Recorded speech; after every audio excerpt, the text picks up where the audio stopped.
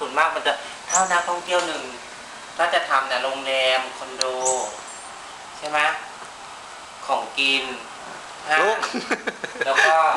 บาร์อย่างเงี้ยถึงจะทำกับนักท่องเที่ยวได้ แต่ถ้าเกิดว่าปิดโอ้ย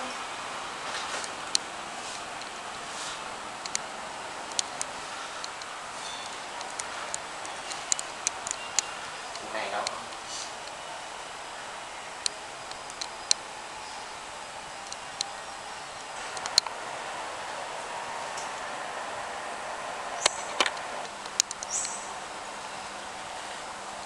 แสงมันเข้าไม่พอ